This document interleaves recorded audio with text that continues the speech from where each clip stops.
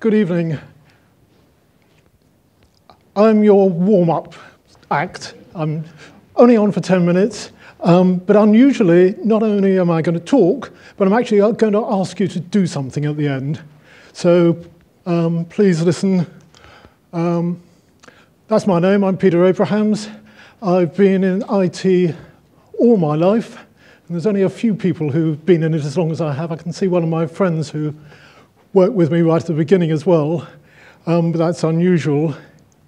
Um, and in the last 12 years or so, basically since I've retired, I've been researching and writing about accessibility. I'm a member of the BCS, that's the not to be named the British Computer Society, though that's what it stands for, um, is the Chartered Institute for IT. So it's the formal organization that runs IT in this country. Um, and within it, we have a specialist group that looks at digital accessibility. And I'm one of the members of that. My aim today is to explain how I'm going about trying to improve accessibility education and training, um, and then to enlist your help in doing that. So what's the issue? Um, and it'd be interesting to see if anyone disagrees with this, but as far as I'm concerned, accessibility education is limited and uncoordinated. Um, and accessibility is not recognized as a key skill in very many places. Um, so because it's not recognized as a skill, it doesn't get you don't get training for it either. So the Digital Accessibility Specialist Group has been looking at why accessibility is a minority sport, as it were, though you're the, you're the exception, um, and recognize that one of the issues is that it's not recognized as a skill and we don't have the education for it. So we set up a project to try and address this. And having done a bit of research on this, we came across or knew about a thing called the Skills Framework for the Information Age Foundation. Now, question, how many of you recognize that, that name? Nobody. Now, that's, that's, that's very sad. This is, this is part of the problem, and I'll explain why it's important in a moment. It is an international organization. It, according to its website, it has representation in most of the countries in the world. It says nearly 200. I'm not quite sure how many countries there are in the world, but that must be nearly all of them. And what it does, and I'll show you examples of this in a moment, it provides clear descriptions of the skills and levels of responsibility that are required with inside IT departments. What it doesn't do is it doesn't try and specify how the organization should be structured or what the roles and the jobs are. It just says, these are the skills you need. It's up to you to decide how you fit them all together. Why is this important, or why is this organization important?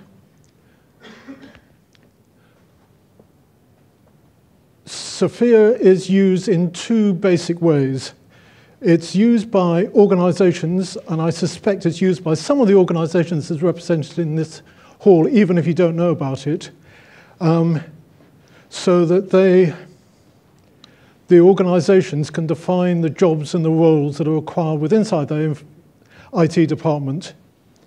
And now you can see why this is important, because if accessibility is not mentioned, um, it's very difficult for your job to come up. The other thing that, that SFIA does is it is used by the BCS. There's an organization within inside the BCS called SFIA Plus, and that takes the definitions in SFIA and works out what education and training you require for each of those roles and responsibilities. Um, so you now have that, and then you come up you will find that very many universities and colleges around the world will take the information from SFIA Plus and based on that will work out what the curricula for IT courses should be. Um, and slightly to a side, but important nowadays. Um, okay, another question. How many of you know about the International Association of Accessible Professionals? Quite a lot more. Right. I put that on this chart um, partly because Alistair said, please talk about it, um, but mainly because I, the, one of the things that the IAP does is provide education. So it's just one of the other education organizations that could provide what is defined in SFIA Plus. So let me just show you what SFIA Plus looks like. This, it's a framework. So what we have is it, we break it down and there's some very large sections. So development and implementation is one big section. And within that, there's user experience. So we're getting, you can see we're now getting into the area where you may be interested. And within the user experience, there's user experience analysis. So that's the way it breaks down. And this is very nearly the whole of what it says about user experience analysis. Each skill is, is one or two pages at most about, about the skill. So it has, at the beginning, it has a section which describes it in general, and then it describes different skill levels. The higher the number, the more managerial it is, the lower number, the more worker it is. And right down the bottom, there's a section in the, one of the doer's jobs, and it says, identifies and describes requirements of users with special needs, e.g. resulting from physical disability. That is the only mention of what we might call accessibility in the user experience analysis section. So if you, if you say we need a user experience analyst, no one will realize that they need education and accessibility. And if you look at the, this other user experience skills, there's absolutely nothing at all. So that means there's a problem. If, your if your organization is using this, and they define you as requiring the skill of a user experience analysis, they will not think that you need to know about accessibility. Um, and they will not train you in that, and no one will, will, well, no one will get trained in it. So, how can you help with this? Well, what, what we've done, what, I, what the specialist group has done, is that we've taken those skills definitions and we've taken about 10 of them which have specific relevance to accessibility, and we made additions and changes to it. We've, on the basis that it's still got to be within a page or two, we can't put very much in, but we put a little bit extra in. And we need more people to review that. We've gone through one iteration and we've got need more people to.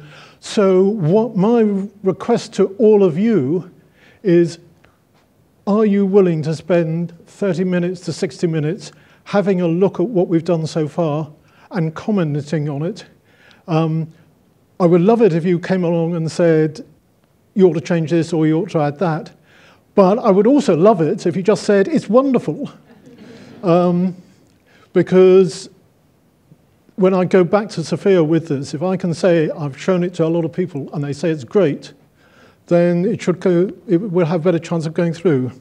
So after this meeting, um, probably tomorrow morning, I will use the meetup list and I will send out a note to all of you explaining what I've told you tonight and giving you a link to the work we've done so far so you can have a look at it. So thank you all very much in advance for helping me with this. Um, if there are any questions, um, please ask now. If you, or if you wish to talk to me later, I'm going to be around in all the, all the food and drink sections. So you're very welcome. Has anybody got a question about that at all?